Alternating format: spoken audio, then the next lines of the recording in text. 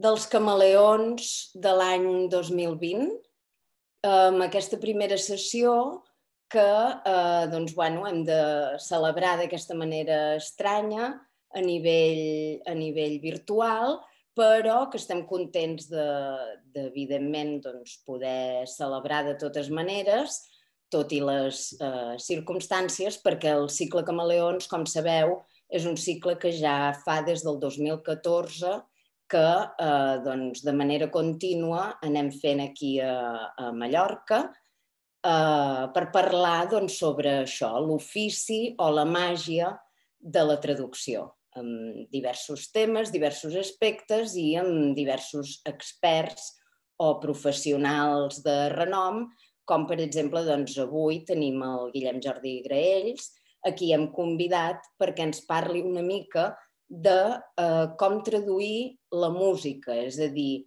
com traduir textos que, eh, a part doncs, tenir la, de tenir la part textual, també han de sonar. Um, el Guillem Jordi, ara m'esperaré una mica... Bé, el deixaré que ens saludi per comprovar que se sent tot bé. Com estàs, Guillem Jordi? Molt bé, bona tarda. Va bé.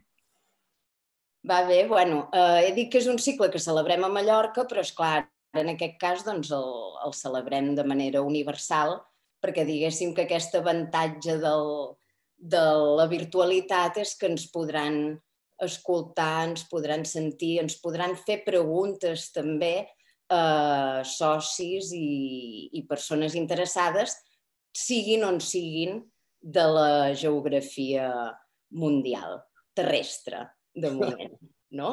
Um, I bé, estic molt contenta que hagis acceptat de, de participar en aquesta sessió perquè doncs, la teva trajectòria quan a, quan a traducció de textos per escena, i no només traducció, també escriptura, adaptació, etc., doncs és, és llarguíssima i és molt, molt prolífica i molt important. Per tant, suposo que ens, ens faràs uns cinc cèntims bastant ben fets de les peculiaritats d'aquesta mena de traducció.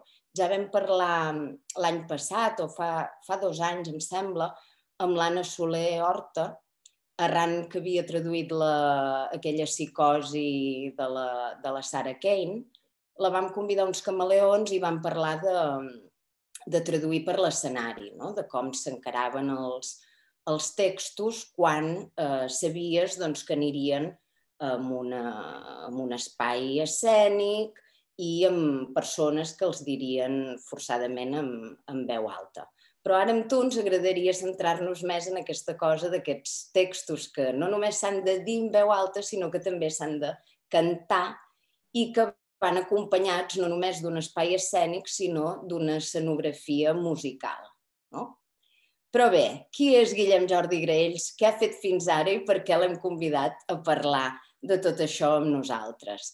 Uh, tu et vas llicenciar en Filologia Catalana a l'Autònoma l'any 73 i ja vas fer una tesina sobre Puig i Ferreter, és a dir, que ja sabies uh, una mica cap on anaves uh, encaminat, no? cap on volies anar. Després d'ell has editat uh, diversos, diverses obres, també n'has escrit assajos de la seva obra, etc.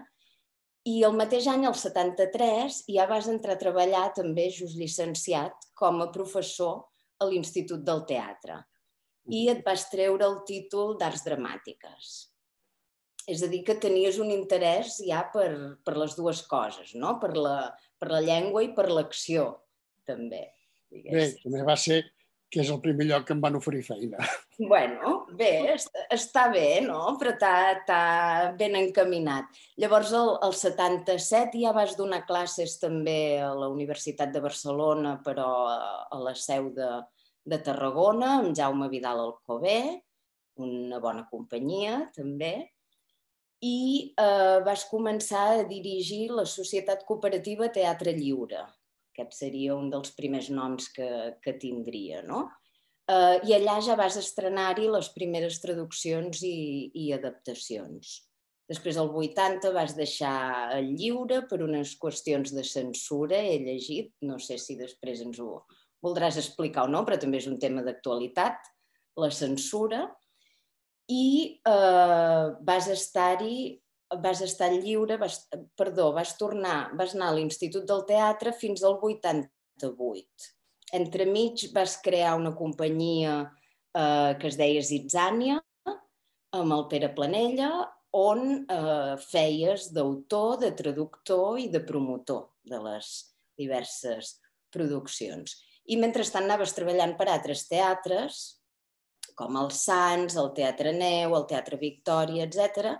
I eh, anaves fent tota aquesta tasca, que jo em pregunto quan la feies, perquè tanta feina, de traductor de, de teatre no? eh, vas traslladar o has traslladat al, al català i també al castellà eh, autors tant italians com, com anglesos, eh, Alessandro Barico, Jean Cocteau, Copy, eh, Neil Dunn, Dario Fo, Ibsen, bé, tota una tirallonga de noms importantíssims i eh, després també Stephen Sondheim, que és aquest autor nord-americà que coneixem sobretot eh, els, diguéssim, la, la població en general pel fet que va escriure la, les lletres de West Side Story. No? Si no sí, va ser una de les seves primeres feines. Una de les primeres feines, però és clar, una feina d'aquestes que, que tothom se'n recorda per sempre. Llavors, fins al, al 85 vas tornar a començar a col·laborar amb el lliure, amb més traduccions, i amb adaptacions. El 91 vas fundar l'aula de teatre de la Universitat Pompeu Fabra, que després vas estar coordinant també una, una colla d'anys. I bé, amb tota aquesta feinada eh, hem cregut que era oportú doncs, això de convidar-te, que ens expliquessis una mica eh, quines han estat les, les vicissituds que t'han portat a agafar aquest camí i quines són doncs, les coses eh, més indicatives d'aquest tipus de, de traducció al qual, al qual has decidit o al qual la vida t'ha portat eh, a dedicar-te. Um, M'explicaves fa un moment, mentre practicàvem com funcionaria això del, del Zoom, i tot plegat que, que va ser un, un camí doncs, una mica um, com tots, no? també amb coincidències i amb coses que t'acaben duent per, per llocs on potser no... no... Explica'ns una mica com, com va passar. Què va fer que un estudiant de filologia catalana, com tants n'hi ha, acabés doncs això, traduint musicals, per exemple? Bé, de fet vaig començar traduint obres de text eh, i a l'època que jo estava de director gerent de la cooperativa del Teatre Lliure, que em donava molta feina, però bueno, a la joventut tots treballem més del, del que podem.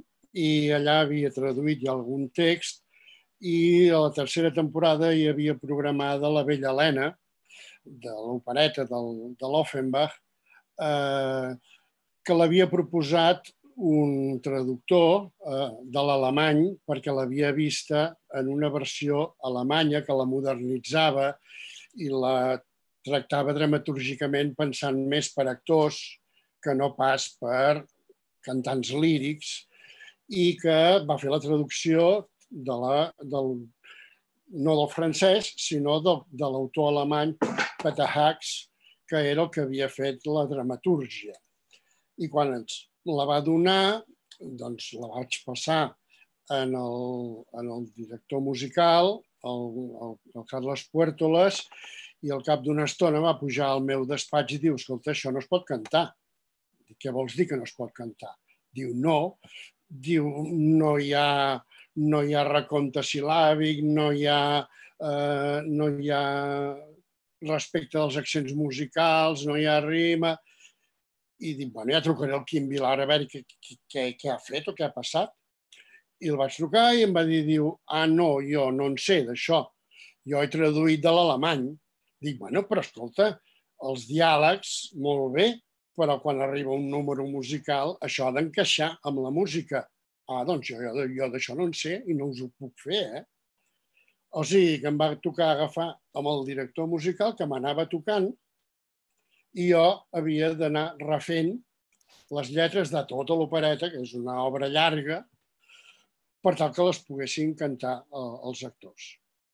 I així em vaig enfrontar per primera vegada, això sense cap preparació prèvia ni sense haver-hi hagut d'intervenir. Després, a més, la, la, la traducció la va signar el Quim Vilar amb la meva col·laboració, quan la vaig haver de refer pràcticament. Refer per tots cantons.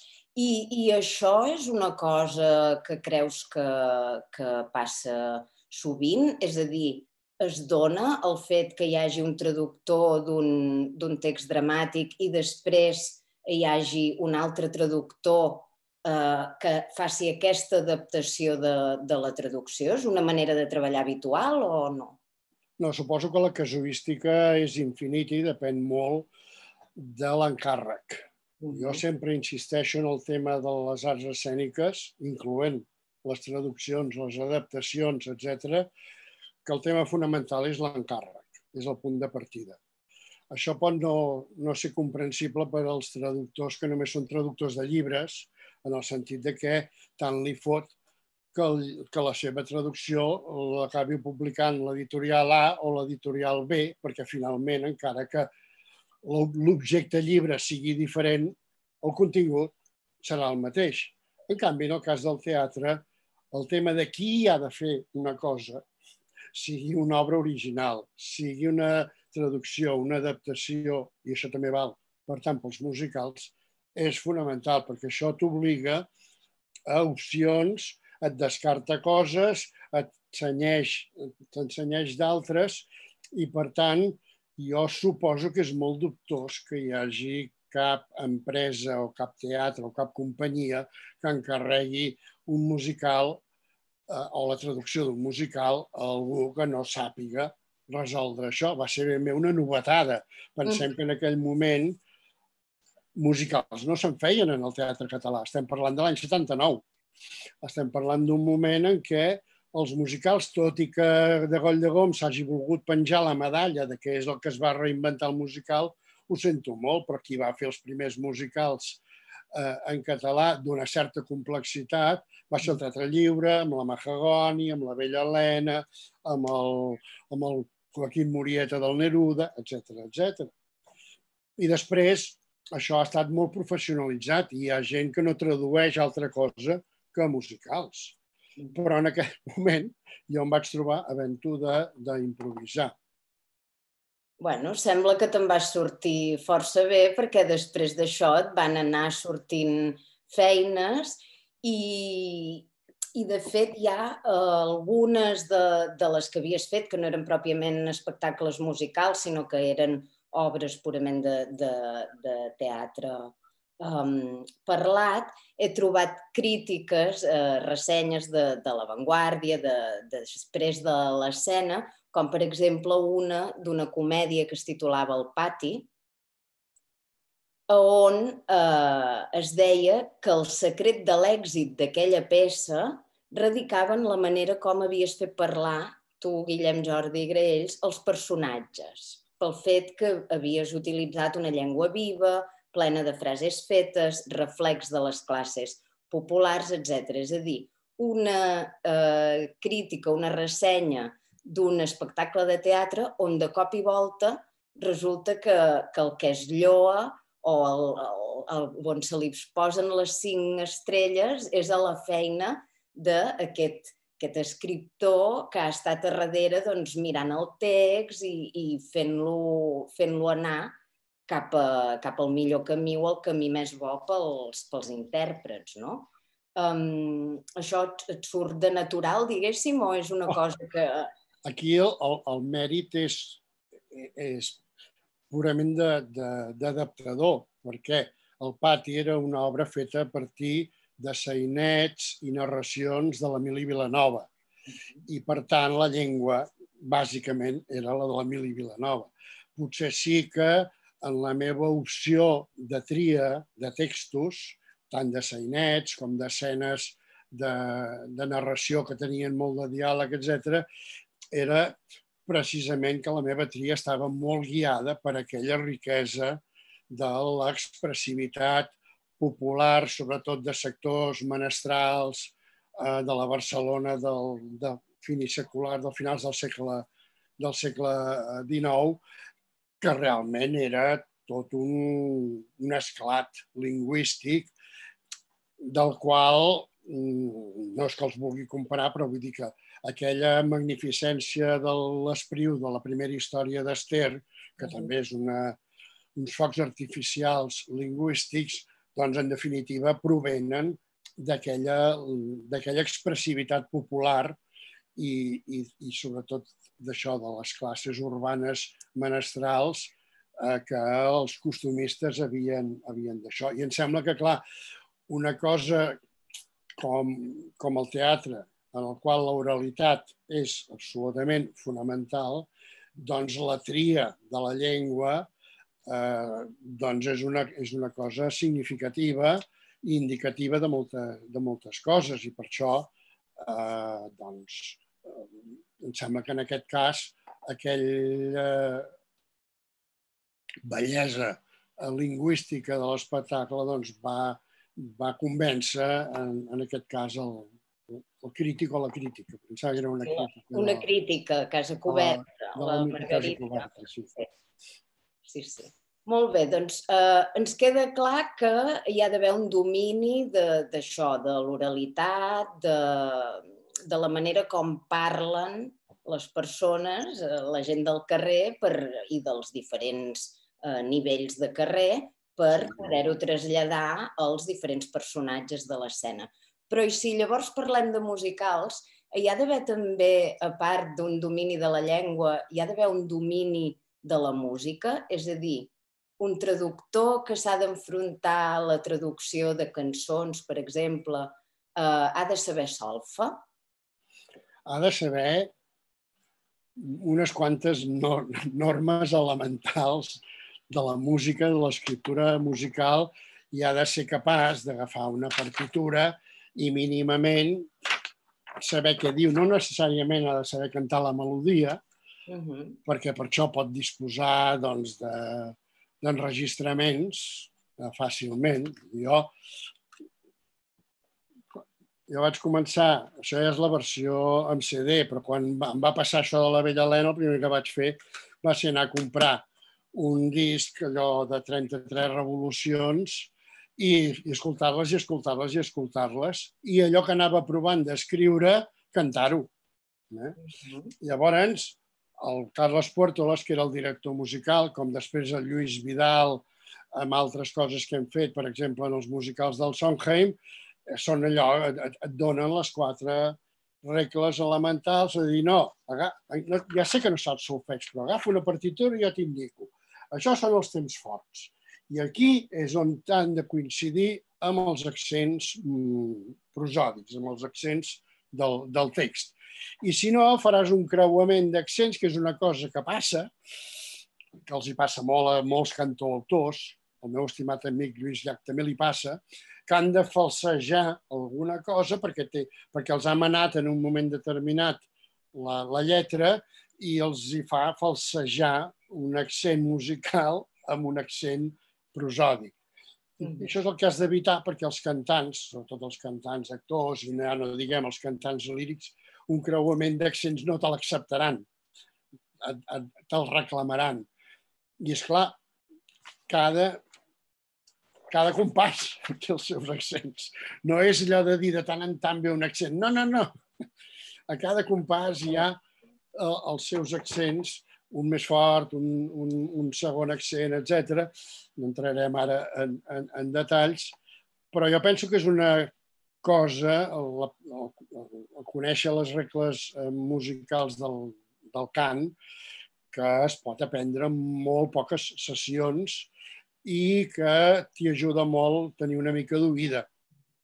Tenir una mica d'oïda i, per tant, eh, anar pescant aquests temps forts i saber que després això t'haurà de coincidir amb els temps forts de la, eh, de la elocució i tenint en compte doncs, això, que si a més vols ser fidel en la lletra que has de traduir, doncs hi ha altres requeriments, hi ha altres coses, però que no són diferents de les que pots plantejar traduint poesia, posem per cas, que és el tema de la rima, el tema del, de la durada del, del, del recompte silàbic del, del vers, etc. Però això, en aquest aspecte, diguem-ne, t'ajuda haver fet traducció poètica, posem per cas, i en canvi amb l'altre conèixer una mica de regles musicals. O sigui, és una combinatòria d'aspectes diversos, tant de, de traducció com d'altres contextos. Llegia, perquè a mi aquest tema m'apassiona i m'interessa moltíssim, que, que en realitat, bé, hi ha molts, molts autors, molts teòrics de la traducció musical que, que diuen que, que el més important al capdavall és el ritme, no? I que és clar que cada llengua eh, té un ritme diferent. No? Eh, al final no es tracta tant de la diferència d'idioma que, que xerram, sinó de, dels diferents ritmes o entonacions que pot tenir doncs, l'anglès en comparació amb el, amb el català. Se t'acut alguna mena d'exemple així com a eh, significatiu o habitual o, o senzill d'això? Parlàvem abans dels monosíl·labs, per exemple, en, en anglès. A veure, en, en el cas del, de l'anglès, a mi em fa gràcia perquè precisament en, el, en la llista de traducció d'aquí de la ELC aquests dies s'està discutint el cas d'algú a qui li han pagat comptant els espais de la llengua de partida, uh -huh. que em sembla que deu ser l'anglès, en comptes de comptar els espais de la llengua d'arribada, que sembla que és el català. I això és una estafa, perquè és evident, tots ho sabem, només cal agafar un programa bilingüe que el català necessita més espais per traslladar el mateix de l'anglès i el castellà encara més. Per tant, que et paguin per espais de l'anglès és una estafa perquè tu hauràs de fer molts més espais en català. Llavors, esclar, això traslladat al, al text d'un cantable, ja no dic si és una cançó, si és una àrea, si és un duo, és igual, doncs té el mateix problema. El problema és que hauràs de traslladar amb, eh, amb, amb la mateixa quantitat de síl·labes un contingut que l'anglès el pot desenvolupar més ricament, per entendre'ns. Uh -huh. O a través del...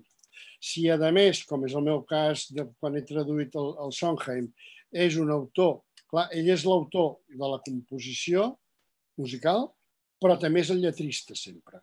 De fet, va començar com a lletrista, com recordaves, del West Side Story, que la música era del, del Leonard Bernstein. Uh, però vol dir que ell a vegades crea a partir del, del vers, a partir del, de la lletra, a vegades crea a partir de la música i li agrada molt jugar amb la llengua anglesa. Li agrada molt els monosíl·labs i el que li agrada més del món són les, el que jo n'hi dic rimes obsessives. O sigui, quan agafa una rima et pot fer set versos seguits en la mateixa rima i això et dona molts problemes. Evidentment, amb una llengua prou rica monosil·làbicament com és el català, ho tens més fàcil. En castellà estàs condemnat al fracàs, o sigui, t'has de moure en els continguts, però oblidar-te absolutament dels mateixos jocs formals. Eh? Sembla que, clar, ja sabem, el Joan Oliver va fer aquell exercici divertit de la tirallonga dels monosíl·labs, que és una gran demostració d'això que dic del, de la llengua monosil·làbica que pot arribar a ser el català i que, i que és una cosa que coincideix molt amb l'anglès.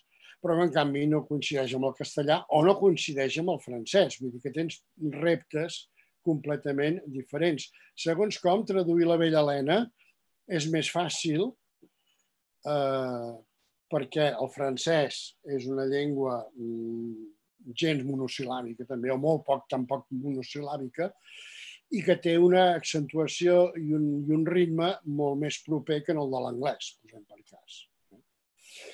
Però, en canvi, el de l'anglès et planteja aquests reptes molt seductors quan pots aconseguir dir, doncs, sí senyor, me n'he sortit sense dir coses estrafolàries ni separar-te massa del, del, del contingut, eh, doncs he, he aconseguit reproduir el mateix eh, eh, els mateixos jocs formals de l'original.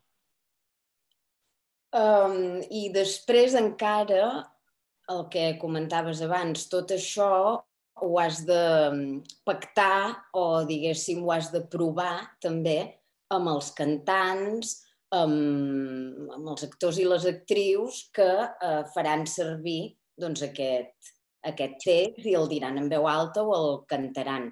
Això, eh, quan vàrem parlar amb, amb l'Anna Soler, en aquell altre Camaleons i també fa un parell de mesos quan el Josep Pedrals va venir a estrenar aquest Godot, el, el principal de, de Palma, eh, parlàvem no, de, de com n'és d'important per ells, com a traductors, de fer aquestes sessions eh, prèvies, evidentment, al, a l'estrena i al començar els assajos seriosos, fins i tot de provar el, el funcionament de, de la traducció. No? Eh, això com, com ho encares? T'agrada? Et fa patir? Sempre va bé? Sempre va malament?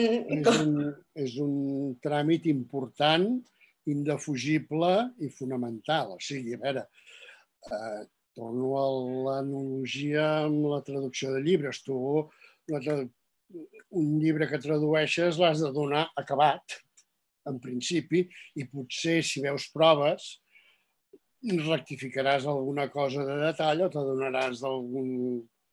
En canvi, en el cas del teatre, per això passa igual amb una traducció que no tingui música. Eh? Uh, tu fas una proposta, una proposta que s'ha de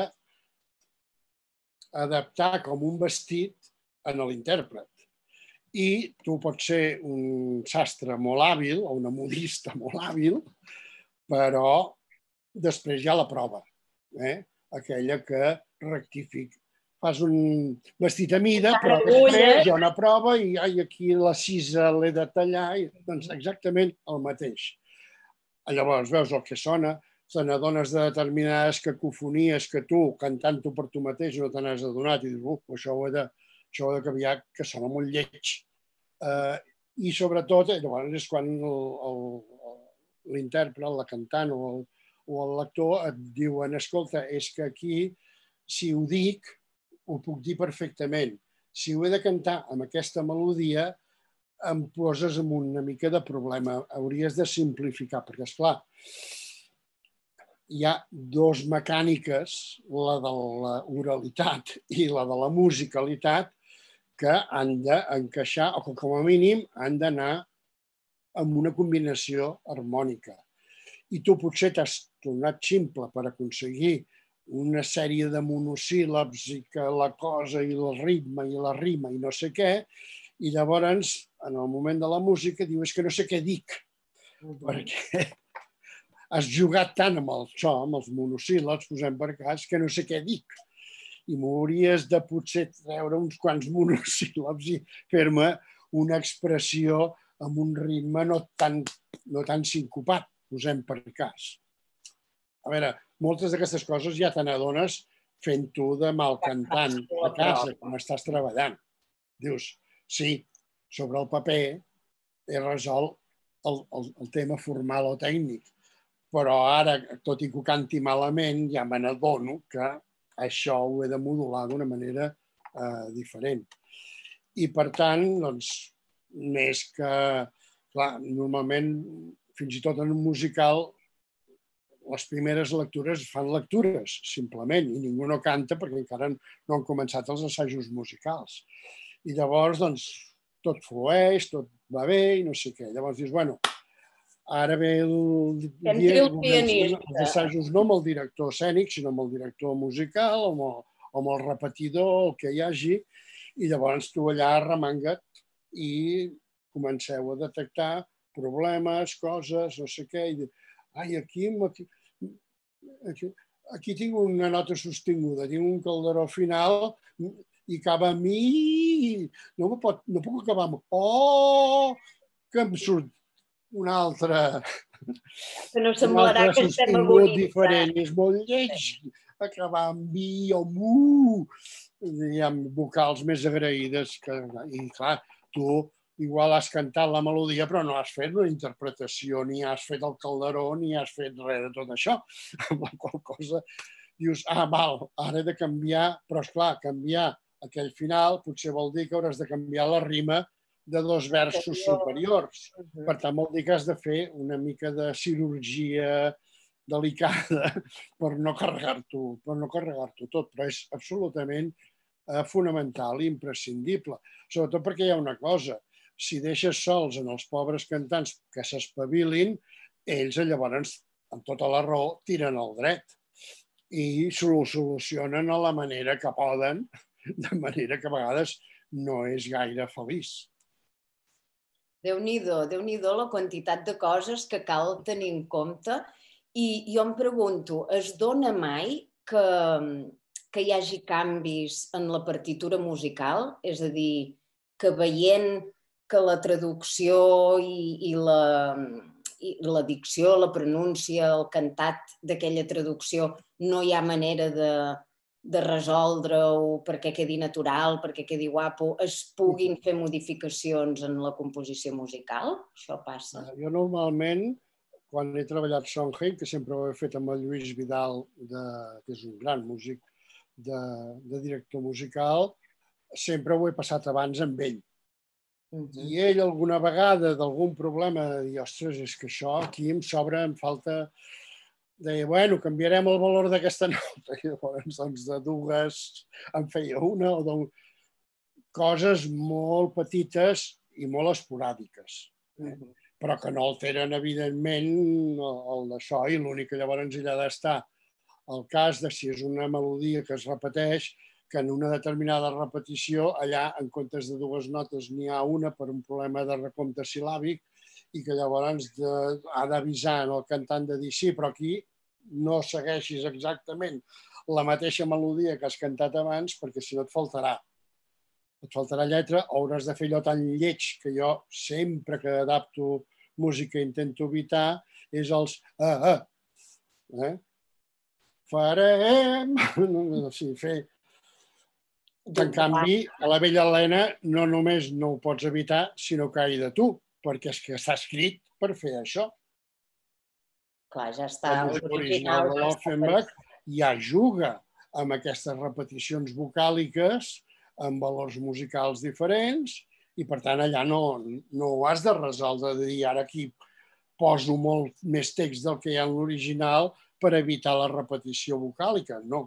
En canvi, en el cas del Song Sondheim és absolutament excepcional que ell faci això. Si un cas farà un, un tipus de recurs formal de síncopa, per exemple, i llavors doncs, li agraden també molt les síncopes, llavors tu has de començar a buscar eh, eh, o, o monosíl·labs o paraules prou clares, bisíl·làbiques, que amb la síncopa al mig no es perdi el sentit de la paraula. Mm -hmm. Déu-n'hi-do. És un repte fantàstic traduir això. Déu-n'hi-do. Um, no, sé, no sé quanta gent ens mira, perquè jo encara no... Ah, no ho sé. No, no, no sabem si estem tu i jo sols. Però, per si hi ha algú més, els recordaré que poden fer, poden fer preguntes, ens poden escriure aquí en el, en el xat qualsevol dubte que tinguin i mirarem de comentar-lo o resoldre'l. Um, llavors, si, si hi ha tot, aquesta, tot aquests requeriments formals tan, eh, diguéssim, importants, estrictes i, i essencials en la traducció d'un text musical, per exemple, eh, això vol dir que el traductor pot ser més traïdor o pot ser més lliure eh, pel que fa eh, a sentit, pel, pel que fa a literalitat del, del text? Segur que s'ha de moure en el terreny del sentit de l'original, però que no pot ser, no hi ha literal, que això no se n'ha de ser mai de literal, penso jo traduint, però que s'ha de poder moure més... Una mica més. Més còmodament d'acabar donant un sentit semblant o moure't en el, en el, en el mateix àmbit, però potser buscant un altre tipus d'imatge, buscant un altre tipus d'al·lusió, etc etc. I perquè en, en, el, en, el, Diuen que sí, que ens mira gent. Sí, diu que sí. Ah, no, però Sí, però som nosaltres, o sigui, és, és la- l'associació, eh? Sí que ens mira gent, però de moment no hi ha preguntes. Sara que avisa que... La Sara o la Carme. Però sí que realment eh, t'has de moure amb una certa llibertat. Amb molt de respecte per l'original, això sempre, Eh? Però amb una certa llibertat perquè has de resoldre una cosa per al públic que t'ho veurà i per l'intèrpret que ho interpretarà i això és el, el fonamental. I en aquest aspecte jo he tingut problemes, per exemple, amb, amb el director del, del company, del Sondheim, el primer problema ja va ser el títol. Ell es va empenyar en què es digués així. Company.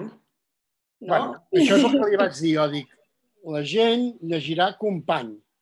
I l'obra es diu company, companyia, que és com la vaig traduir jo, companyia. M'és igual. A mi m'agrada company i vull que es digui company. Dic, bueno, la gent dirà, vaig a veure el company.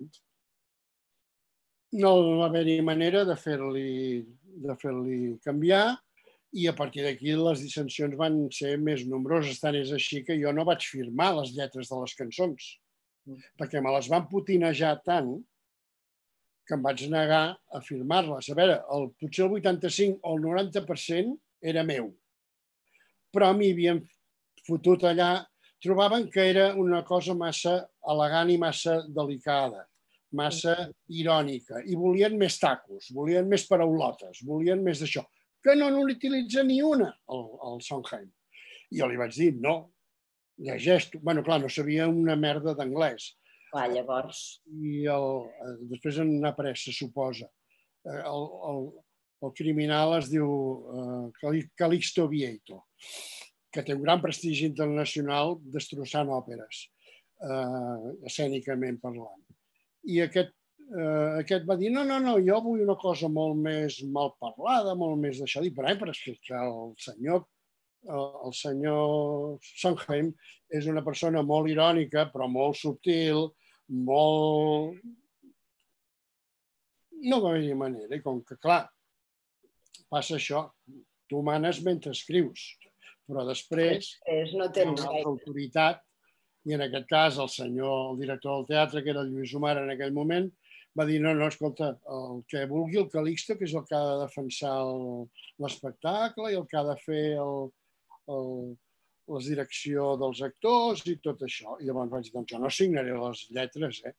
encara que siguin infinitament, majoritàriament meves, jo no les signaré, perquè no vull que es pensin o que determinada, o moltes rimes que m'havien costat molta suor, se les havia carregat perquè havia canviat la paraula que rimava. I aleshores deia, no, perquè es pensaran que sóc un inútil que no sap rimar, eh, que la resta de la cançó està rimada i de sobte hi ha dos llocs en què no hi ha rima i sembla Perquè no li que agradava la paraula, justament, no no? li agradava la paraula, volia posar-hi eh, bragues en comptes d'una paraula que era dir, un eufemisme, jo què sé, era una cosa contínua. Clar que aquest personatge, i aprofito per, per, per dir-ho, pels que el puguin admirar escènicament, ja, ja havia protagonitzat un famós incident amb, el, amb, el, amb un espectacle anterior. Ell va dirigir el llibre a l'anfitrió del Molière i s'havia d'encarregar una traducció perquè la traducció en prosa del Maseres havia quedat molt envellida. Jo no sóc gaire molierista i li vaig proposar en el Miquel Desclot. El Miquel Desclot va parlar amb el Calixto Vieito i el, i el Miquel li va preguntar la vols en prosa o la vols en vers? L'altre es va quedar estupefacte perquè no, no, no havia ni cavilat i després de pensar-se una estona va dir, em pots fer una prova de cada? I el Miquel, amb aquella bona fe que el caracteritza, va dir, molt bé. Li va fer una escena sencera en prosa i en vers. Es va passar. I llavors ell va exultar el, el Vieito i va dir, no, no, en vers, en vers, m'ha agradat molt en vers, no sé què. I un dia ja la va fer en vers tota el, el un dia el, el Miquel va anar a l'assaig i de sobte em ve i em diu, escolta, els actors de tant en tant s'inventen paraules. I dic, bueno, ja parlarem al final amb el, amb el Calixto. I al final li, li parlem i diu, diu no, no, no s'inventen paraules, és que l'he canviat jo, perquè rimava massa. Carai. Amb això està tot dit el nivell intel·lectual del, i cultural del personatge. O sigui, havia canviat paraules perquè trobava que rimava massa i que es feia monòtona tanta rima, quan ell havia demanat una traducció. Una traducció en vers. I rimada. Doncs bé, aquest personatge també em va potinejar les lletres i jo em vaig negar, negar a, a assignar-les i per tant el programa posa mm, versió lletres cançons, Calixto Vieto, Joan Anton Recci, que era el seu ajudant que el va ajudar a la potineria també que la gent sàpiga que et passen aquestes coses en el, sí. en el món de les arts escèniques. Encara que jo fos el, el cap de dramatúrgia, del director de dramatúrgia del teatre i tot això. A tot, a tot, a tot arreu n'hi ha que volen saber d'allò que no saben, no? I que no, que no respecten la, la feina la dels feina altres. Però bé, per aquí, per, per Twitter, ens demanen que aniria molt bé eh, que féssim algun exemple cantat. Si ens ho haguessin demanat amb més temps, potser ens hauríem pogut preparar, però no sé com ho veus, Guillem Jordi. Home, ho, ho veig difícil, perquè, perquè jo canto com una almeja, o cloïssa, que es diu, i, i perquè efectivament hauríem pogut buscar algun, algun àudio, però... Ja he vist que tenies un piano, dic, a veure si podrà cantar ella. Si ah, bueno, ho he fet perquè quedés una mica d'A13. El toco, eh, però no m'ho he preparat tampoc. però he pensat que quedaria bé, no?, de 13 per aquesta sessió. Això. No, uh. l'únic que... Uh, per exemple, el, en el cas de la vella, de la vella Helena, el, el, clar, ell ho havia traduït de l'alemany, i a mi, per tant, tenir l'original alemany no em servia de res perquè no en sé un borrall. I, i això, però en el disc que vaig eh, comprar-me hi havia la lletra francesa. I per tant jo a l'hora d'adaptar em vaig basar més en, en, la, en la versió francesa, original d'altra banda, o sigui, el llibret del, del Meillac i, i la Leví, que no pas en la, en la versió que n'havia fet el, el Peter Hacks, tot i tenint en, eh, tenint en compte, però, que ell també havia adaptat la lletra i també l'havia fet com més contemporània o havia canviat molt algunes coses. En la Vella Helena, que sé jo, una de, hi ha un joc que fan, que fan un joc de, de, de xarades que ell el va canviar absolutament per un, per un joc de, de, molt més comprensible, entre altres coses, perquè ja no era un entreteniment social el jugar a les xarades, ja no etc etc. I per tant, eh, en el, el, una de les... L'obra començava amb un pròleg que ell va dramatitzar una cançó que a dintre de la Bella Helena original eh, el, el, és una àrea que canta el Paris, el protagonista, i en canvi ell la va dramatitzar, la va sanificar, com que explica el judici de Paris, el de la poma, quina de les tres deesses és la més vella, etc. doncs ell ho va sanificar com a pròleg de la, de la funció i, i repartint a més el, el text entre Mercuri, les tres deesses i Paris, en la qual cosa una àrea es va convertir en un conjunt, en, en una mena, no, no és un quintet perquè mai no arriben a cantar alhora, però sí que és una escena cantada dialogada. Uh -huh.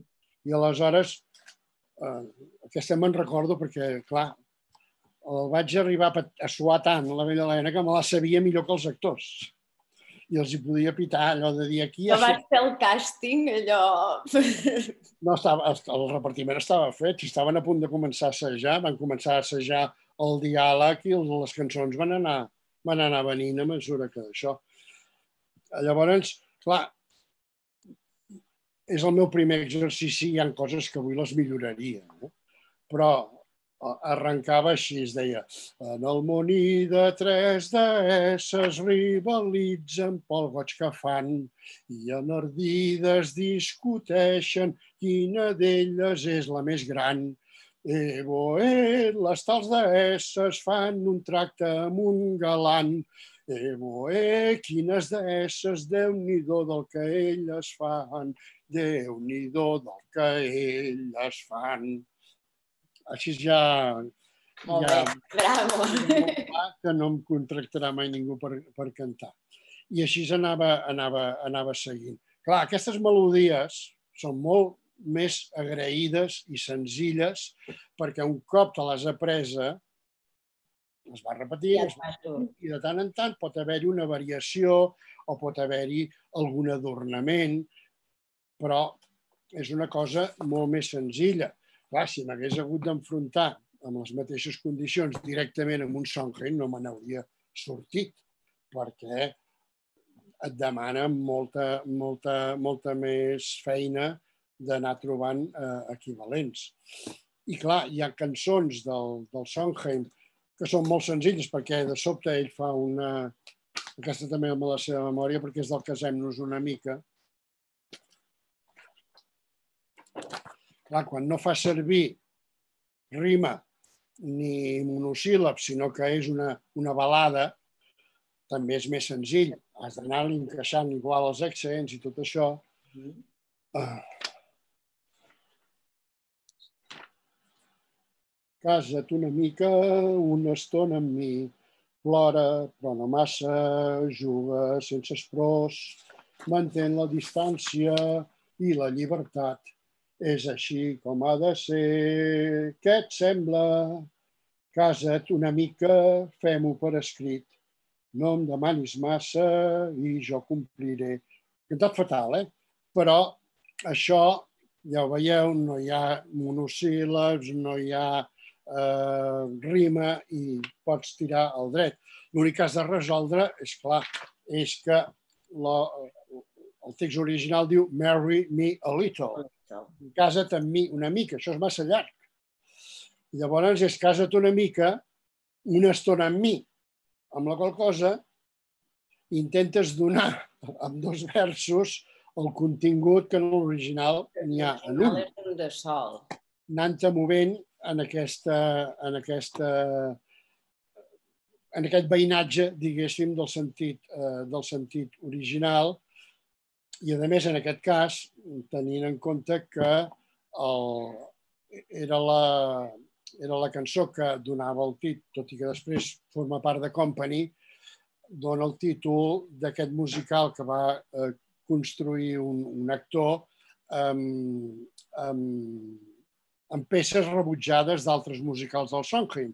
Allà els musicals es fa un try-out que diuen que és una mena de pregira eh, per provar per l'obra, per provar-ho en públics diversos i sempre cauen cançons perquè es nota que és massa llarg l'espectacle, perquè el ritme de tal part baixa i pam, ganxo contínuament. I va haver-hi un actor, amic, i potser alguna cosa més del Sondheim, que li va dir deixes fer un musical, un recital amb totes les cançons rebutjades i una d'elles era de Company, d'aquesta, i es deia Marry Me a Little. I és clar, per cantar va bé, casa't una mica, una mica amb mi, perquè vas desenvolupant l'argument. Però, en canvi, com a títol, casa't una mica no, no diu res. Casa't una mica amb mi és molt lleig, massa llarg, és un títol horrorós. I per això vaig optar per casem-nos una mica que és molt més, maco, és molt maco. I a més, que les dues persones, la sí, parella... És inclusiu, no, no és aquesta Però cosa. Però aquestes adaptacions que acabes fent sortint-te de l'estricta literalitat. Vull dir, ja sé perfectament que marry me a little vol dir casa't una mica amb mi. Però mm, em sembla que és més sonor, més recordatori dir casem-nos una mica que no pas casa't una mica amb mi són aquestes coses que et veus obligat a fer traduint teatre, fins i tot allò. Jo vaig traduir una obra que es deia Steaming, Steam, de, de, de treure vapor, Uh -huh. però és clar, que li havia de posar vaporitzant, Vaporejant, vaporitzant. vaporitzant, dius, bueno, li vaig posar vapors. O sigui, això és una cosa que, que t'hi trobes molt amb, el, amb, amb els títols. Un, Per del, un exemple, dels del- títols és, és, és brutal, no? Vull dir, això també és, és No, d'aquelles coses de riure amb els títols de les pel·lícules, també, no? Aquell, aquell Die Hard, que és la jungla de cristal i totes aquestes No, coses. Sempre, jo sempre en aquest, en aquest aspecte sempre cito el mateix exemple. Clar, Gone with the Wind. Mhm. Allò Lo que... que el viento se llevó. Gone with the Wind és quatre síl·labes. Lo que el viento se llevó són vuit. Sí, i en català també van fer allò que el vent s'endugué. Exacte. O sigui, es hagués pogut dir endut pel vent, Sí, que són les mateixes quatre síl·labes de l'original. I en aquest cas no es tractava de cantar-ho. Però va ser l'editor que va dir no perquè ningú no identificarà què és lo que el viento se llevó.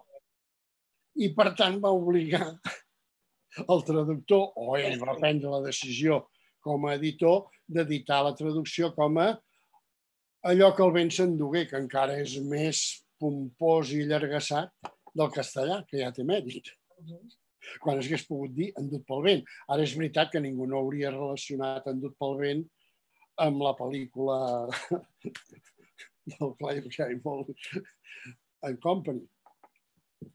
Jo, jo me'n mirava una ahir que, que es titula BMX Bandits, BMX de les bicicletes de muntanya, i a TV3 van traduir biciclistes voladors. M'agradava molt.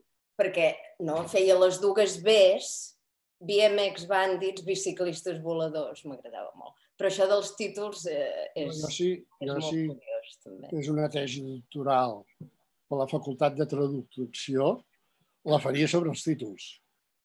Sobre la traducció de títols, la casuística, vull dir, només mirant la, la cua de palla, que la dirigia el, el Pedrolo, i que, i que, clar, traduccions allò fidels al títol original de la novel·la generalment americana, o en alguns casos francesa, n'hi ha poquíssims. N'hi ha poquíssims. La majoria són invents, que a vegades tenen a veure amb el títol original el que un ou una castanya. És a dir, no, no, no, no s'hi miraven massa, tampoc. Clar, tampoc, no, tampoc no consideraven que fos alta literatura, en principi. Sí, és, és, molt, és molt curiós. Però bé, eh, ens desviem. No sé si tens ganes d'explicar alguna cosa més. Les preguntes veig que no han arribat, ja has cantat. No, només m'han fet fer el ridícul cantant i ja està. ja s'han quedat. Hosti, home, el ridícul. se'n deu haver anat tothom es, esgarrapat de dir aquest com pot traduir musicals amb aquesta can... Aquí a Palma ja va ploure ahir, o sigui que per això no pateixis. Aquí no, sembla que avui jo estic a Terrassa i estem fent un, un pont Palma-Terrassa. Està molt bé. Uh, de totes maneres, això és una cosa, és una qüestió interessantíssima i estic molt contenta que ens hagis volgut acompanyar i explicar-nos uh, una mica de, de xafarderies i de detalls no? de, de com va aquesta traducció. Això, allò que deies de cara a, a, a joves traductors o estudiants de traducció i tot això, clar, la casuística habitual és això. El problema és amb les editorials. Si em volen pagar, aquest últim cas, si em volen pagar per, pels espais de la llengua de partida i no de la llengua d'arribada. D'això no n'hem parlat, és ben pagada aquesta feina, perquè els musicals, per exemple, és un, és un gènere que, que fa calés, no? Se suposa. Llavors, el traductor també cobra en funció o continua sent un traductor? No, no, no, tu cobres a risc de taquilla, que aquesta és l'altra broma. Clar, en Casem-nos una mica ens van donar el Premi de la Crítica al millor musical de la temporada i els que havien posat els diners per fer la producció, que érem la Nina, el Pep Anton Muñoz i jo, ens vam perdre un milió de pessetes de l'època cadascun, perquè no va anar malament, però la producció va estar molt mal portada i va sortir caríssima i per tant hi vam perdre molts diners. I el que passa és que això en, en teatre sempre vas a risc de taquilla. Per curar-te en salut normalment demanes un, un anticip, un avaluar que et cobreixi, et cobreixi les eventualitats, sobretot perquè alguna vegada el, el, el, el que et fa l'encàrrec no, no saps qui és, com aquell qui diu, o quina fiabilitat econòmica té. Però si funciona, doncs pot ser una cosa molt més ben pagada que una traducció de llibre. Vull dir que tenint en no costa gaire perquè quasi bé, quasi bé qualsevol feina és més ben pagada que una traducció de llibre. Tot i que cal tenir en compte que, per exemple, que és el que em va passar amb Casem-nos una mica, eh, quan vam gestionar els drets, que ho vaig fer jo, a més, amb una empresa important que es diu MTI, eh, Music Theatre International, que són els que tenen els drets del Sondheim, eh, va costar no sé quants fax anar i venir per explicar-los que no la volien fer en anglès, que la volien fer traduïda. Llavors deien, però per què? I, per què? I quan deies català, i això de català què és? Bueno, va ser horrorós. Finalment, et, et donaven un percentatge, però per damunt del 10%.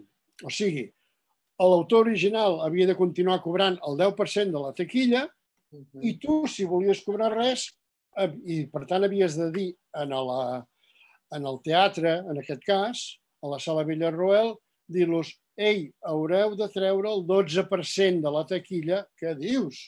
No ho hem fet mai. És que si no, no cobro, perquè no volen baixar del burro. Amb el company ja va, ja va, ja va, ja va canviar, però no és l'única vegada que s'ha hagut de fer això, pagar el 12 o el 14% de la taquilla eh, Societat d'Autors perquè els agents americans no volen baixar del burro ells consideren que tot el món és una colònia seva i que tot el món fa les coses en anglès i, per tant... Volen el seu, el seu tall de pastís de la mateixa mida. També és una cosa que val la pena de saber. Sí, sí, és interessant, però bueno, ja sabem que per aquestes coses eh, l'associació d'escriptors no, sol anar... Els anglesos no t'acostuma a passar perquè ja ho tenen molt més clar, això, dels drets de traducció i tot això però suposo que pels americans un musical és una cosa tan inherent, lletra i música, que no els hi passa pel, pel caparró, o no els hi passava l'any 93. Clar, és que també t'hi vas posar... Escrius a MTI i ja, ja saben que han de, de negociar d'altra manera. El que comentaves al, al principi, que quan tu t'hi vas posar a fer aquestes traduccions de musicals, els musicals, com qui diu, no sabíem què eren en aquí, no? Llavors, doncs suposo que tot això quasi bé també tu has anat provant. No ni un duro, perquè el Peter Hacks, el Peter Hacks aquest era el que cobrava com a autor, tenint en compte que el Meillak i el Leví eren domini públic feia segles, i, i el Quim Vilar era el que va cobrar la traducció i jo constava com a col·laborador i bueno, estàvem arrencant el teatre lliure i llavors tots fèiem de tot. Està molt bé, tanta sort que veu fer tots de tot i veu posar-hi tot aquest temps i energies. No? Molt doncs, bueno, ens comenten que el seminari de, de traducció de l'associació es va tractar el cas aquest del títol del Gone with the Wind, i ens hi afegeixen un enllaç per si algú més després s'ho vol mirar, jo després m'ho miraré.